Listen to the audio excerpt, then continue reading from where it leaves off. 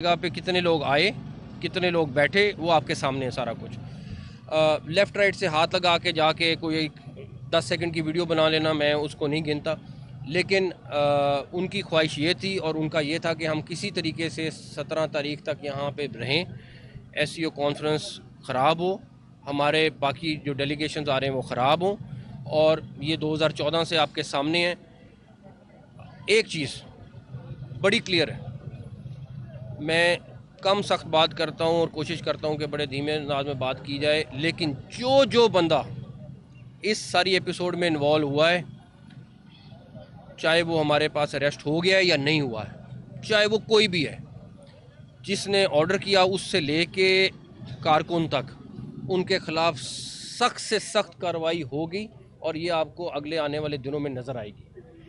क्योंकि ये तमाशा नहीं लग सकता कि आप इस्लामाबाद हमारा कैपिटल है, उस पर धावे बोलें, हर दूसरे दिन धावे बोलें, उसमें जो जो मुलवस है including C M K P के, उन सब के ख़िलाफ़ सख्त कार्रवाई होगी।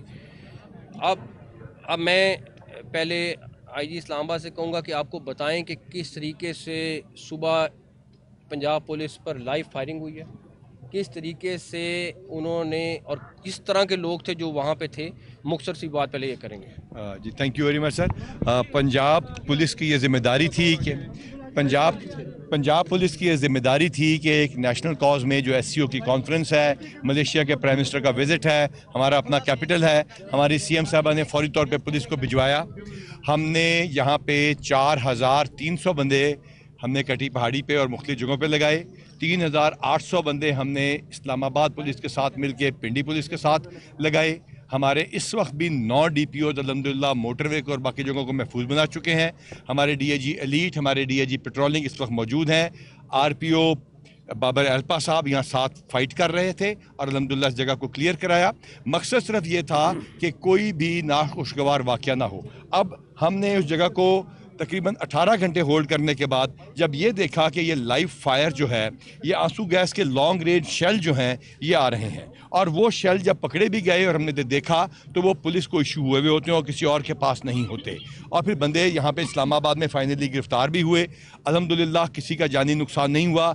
हमने अपने सर फड़वाए दोबारा, हमने मारे खाई, लेकिन अलहमदिल्ला किसी का जानी नुकसान नहीं हुआ। हम बहुत शुक्रगुजार हैं फेडरल गवर्नमेंट के इंटीरियर मिनिस्टर के, और सबसे बढ़कर रेंजर्स के, और बाकी तमाम वर्दी वालों के, पाकिस्तान आर्मी ने जिस तरह हमें इसमें सपोर्ट किया और सबसे बढ़कर ये तमाम वर्दी वाले जो मैं हमेशा बात करता हूँ कि तमाम वर्दी वाले इस झंडे के लिए दोबारा इकट्ठे हैं इन ताला और पाकिस्तान महफूज था और रहेगा इन खैर अब मेरा सिर्फ़ इस पर यह चीज़ है कि चाहे वो इस्लामाबाद पुलिस है, चाहे वो पंजाब पुलिस है, चाहे वो रेंजर्स हैं, चाहे वो आर्मी है, सबने जिस सब्र के साथ ये दो दिन और जिस तरीके से हैंडल किया है मैं इन सबको क्रेडिट दूँगा और मैं एक चीज़ ज़रूर कहूँगा और इन सबसे मेरा वादा है इन सब के ज़ख्मियों से मेरा वादा है। हमारा मुझे प्राइम मिनिस्टर ने कहा कि एक चीज़ इंश्योर करनी है कि इन ज़ख्मियों का जिन जिन्होंने ये किया उनके ख़िलाफ़ पूरी कानूनी कार्रवाई करनी है। तो इन सब का मैं बहुत शुक्रगुजार हूँ और मैं खराज तहसीन पेश करता हूँ उन सारे ज़ख्मियों को भी जो सारे आई जी इस्लामाबाद ख़ास तौर पर इन्हें खुद फ्रंट फुट पे खड़े होकर लड़ाई लड़ी है और आपके सामने दो दिन से थे तो इन हाँ जी। सवाल में एक तो ये कंफ्यूजन है जो अफगानियों की बात हो रही है क्या वो अफगानी बाई नेशन है या बाई कौम है? और दूसरा ये अफगानी बाई नेशन है जो नेशनल है वहाँ के। सर ये बताइए कि अली अमीन गन्नापुर कहाँ पर है अली अमीन गन्नापुर के हवाले से सबसे ज़्यादा बाम पाया जा रहा है। सर कहाँ है वो?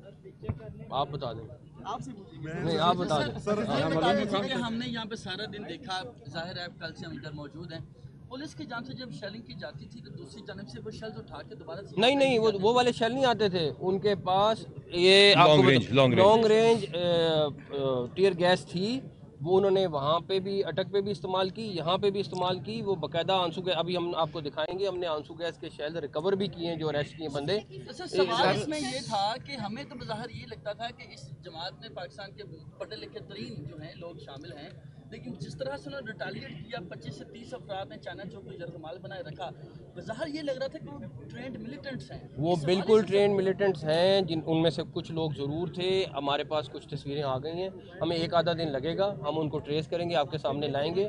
लेकिन वो बाकायदा जो जत्थे आए हुए थे उनको बाकायदा ट्रेन जत्थे थे मुसल्ला जत्थे थे और हमें पहले शुरू में इंफॉर्मेशन थी या शुरू में तस्वीरें आई थी कि ये वेपन के साथ हैं। उन्होंने बाकायदा वेपन इस्तेमाल किए sir CM sir CM KP के खिलाफ सख्त कार्रवाई करेंगे ये बताइएगा कि वो कार्रवाई इतनी सख्त होगी कि आने वाले दिनों में इस्लामाबाद के शहरी सुकून से रह और पंजाब भी उमन रहेगा इसमें इन ताला और दूसरी बात इस्लामाबाद हाई कोर्ट ने आज ऑर्डर कर दिया है कि 17 तक कोई प्रोटेस्ट इस्लामाबाद में नहीं हो सकता है। अगर करना है तो आप आप इजाज़त लें और उसके लिए करें और 17 तक बिल्कुल कोई नहीं होगा। जो कार्रवाई है वो बिल्कुल सख्त होगी जो एफ़ आई आर हम रजिस्टर कर रहे हैं इनके ऊपर कानून के हिसाब से हमने वकला को कंसल्ट करके सारा कर रहे हैं ताकि सख्त से सख्त उनको सजा सर ये वजारत वजारत दाखिला ने ये फैसला कर लिया है क्योंकि इस्लामाबाद पुलिस ने रिपोर्ट भी दी थी कि इनके खिलाफ बगावत की दफात के तहत हमारा अभी मेरे ख्याल में कुछ आधे घंटे में आधे घंटे में फाइनल हो जाएगा। जो ड्राफ्ट होगा हम आपके साथ शेयर करेंगे। लीगल प्रोविज़न पूरी कर पहली दफ़ा हुआ कि कोई सूबा और सूबाई हुकूमत उसकी मशीनरी वफाक पे हमला आवर हुई और उस वक्त हुई कि जब एस सी ओ के हम तकरीबन 30 से 35 ममालिक के वफूद को होस्ट करने जा रहे हैं तो आप इसको कैसे देखते हैं? देखें ये नॉर्मल चीज़ नहीं थी। मैंने आपसे सुबह भी कहा, कल भी बात की। उनका प्लान ये था कि इस टाइम यहाँ बैठ के जलसा कर रहे होते। उनका प्लान ये था कि यहाँ पे सत्रह तारीख तक ऐसा मेला लगाते कि यहाँ पे एस सी ओ कॉन्फ्रेंस ख़राब होती कैंसिल होती। उनका ख्वाहिश ये थी कि डेड बॉडी दो, तीन, चार, पाँच मिलती। हम, उन्होंने बुलेट फायर किया, हम भी करते। उनकी हर वो स्ट्रेटजी नाकाम हुई है। वो क्यों करना चाह रहे थे, ये आप 2014 से ले लें।